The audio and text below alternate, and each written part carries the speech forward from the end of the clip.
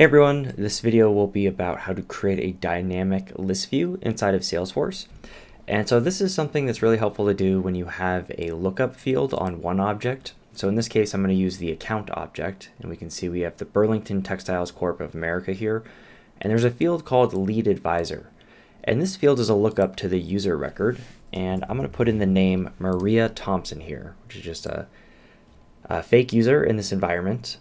And what you'll notice is if we go and look at our list of accounts, and then we were to add in that name here for the lead advisor to the list view, maybe bump it up here next to the phone, um, you'll see that there are different lead advisors for different accounts. So one of them is for Maria, and then one of them is for me. And you know, we could go through all the different accounts here and just kind of add them in maybe we give Maria a couple, then maybe we give myself a couple.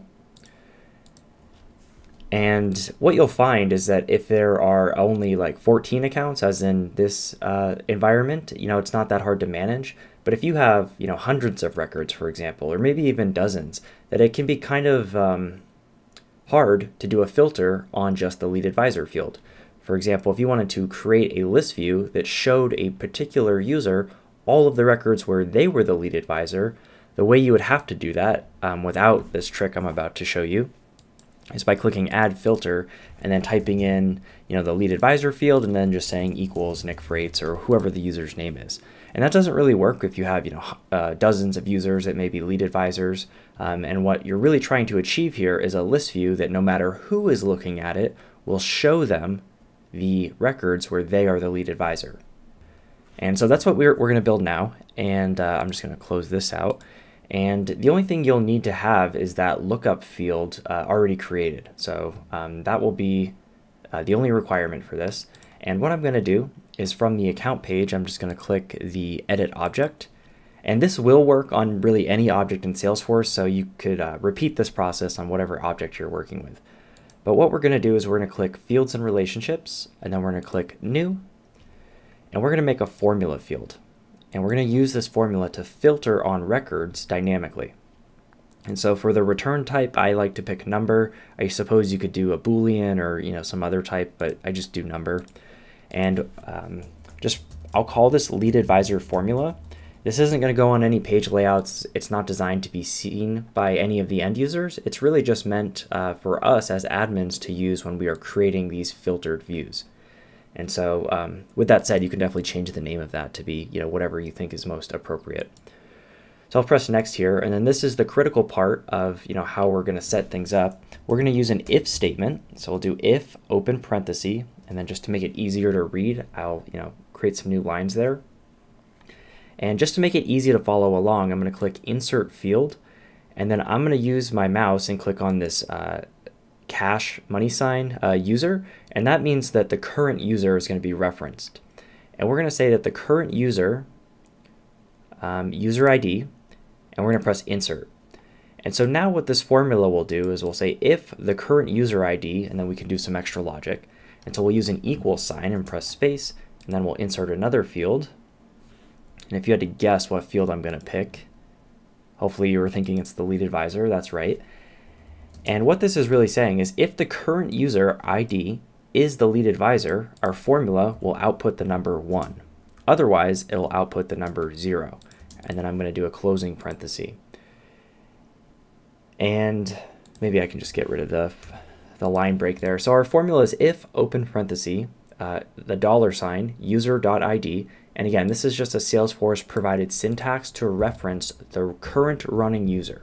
So two different people looking at this, the formula will change the result based on who's looking at it. And we're saying if the user ID equals the lead advisor of a particular account, then this formula will return the number 1, otherwise it will, will return the number 0. So I'm just going to press next, and we'll just make it visible to all the profiles, and I'm not going to add it to any layouts and press save. Of course, in your own environment, you can feel free to add it to layouts. Um, the main purpose is we want to have that field visible to every profile, so that we can go back into our list view. If I can find it here, we can open up um, the all accounts list view. And I'm going to click on list view controls here. I'm going to cl clone this. and I'll just call it My Lead Advisor Accounts will be the new name of the list view, My Lead Advisor Accounts. And we'll let all users see it. We'll press Save. And now we can apply that filter. So you'll see on the right, the Filters tab kind of opens up.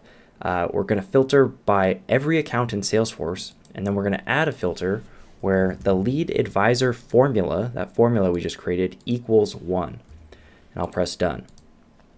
Now when I save this, I want you to pay attention to what's happening to the list view here.